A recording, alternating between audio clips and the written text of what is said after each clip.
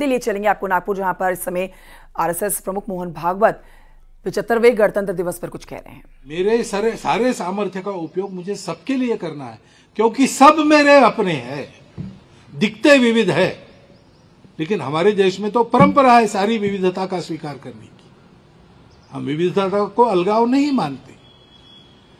इस प्रकार बंधुभाव के साथ देश के लिए सब लोग मिलकर उद्यम करेंगे। संविधान के अनुशासन का पालन करेंगे, उसकी पवित्रता पर आँच नहीं आने देंगे, उसके भाव में, भाव को ध्यान में रखकर उसका उचित उपयोग करेंगे तो राष्ट्र उस उत्कर्ष की ओर जाएगा। ये करने के लिए हम लोगों में समर्पण का भाव चाहिए। मेरा स्वार्थ छोड़ दूँगा मैं। आज जो गीत हुआ, मैं रहूँ ना या रहूँ, मैं रहूँ या ना रहूँ, भारत ये रहना चाहिए। हम संघ में गीत गाते हैं। तेरा वैभव अमर रहे माँ, हम दिन चार रहे न रहे।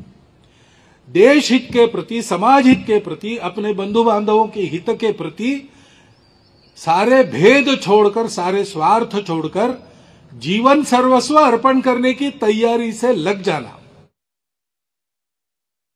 मोहन भागवत कह रहे हैं, मैं रहूँ या ना रहूँ, ये देश रहना चाहिए। बॉलीवुड के गाने के बोल वो बता रहे हैं, जिसमें साफ़ झलक मिलती है कि ये देश रहना ज़रूरी है, इसके लिए एकजुट होना बहुत ज़रूरी है।